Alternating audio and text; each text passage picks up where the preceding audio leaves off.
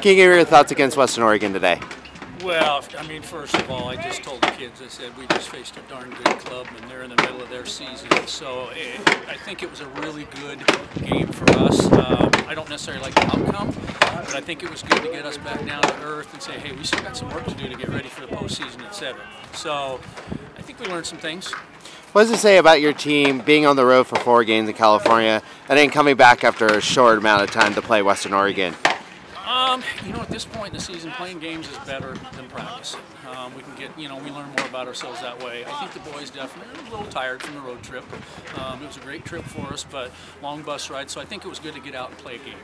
Talk about that ninth inning. The bats came alive out there. I think we finally relaxed. Um, you know, and I don't know, I don't think we were nervous in the early innings, but we relaxed a little bit and kind of executed the plan like we're supposed to. Um, you know, it's one of those things that baseball's really, really mental, and when you relax, you play a lot better. You move forward into conference play again. Talk about the games coming up.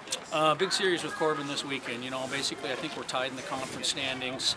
Um, so, you know, and we're at home, so we got to get ready and take care of business. Um, you know, every game is important as we, every conference game is important as we get down to the end right now. Let's Talk about your performance today. I'm just trying to see good pitches to hit, work some counts, and get to the next guy, really.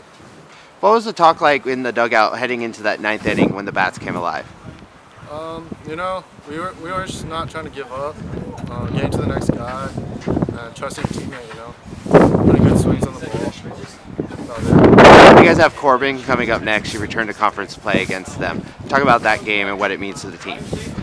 Um, this is a big series for us, you know, coming off a couple losses here, but you know we're to get back to work and hopefully battle out four.